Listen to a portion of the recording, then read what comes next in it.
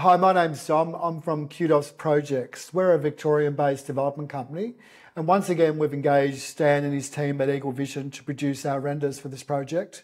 Uh, the renders for us are the most important part of our marketing tools in terms of communicating our vision to the clients. Um, and the quality of renders we get from Eagle Vision are just outstanding. It just really communicates the vision and, and how amazing the project's going to look once completed.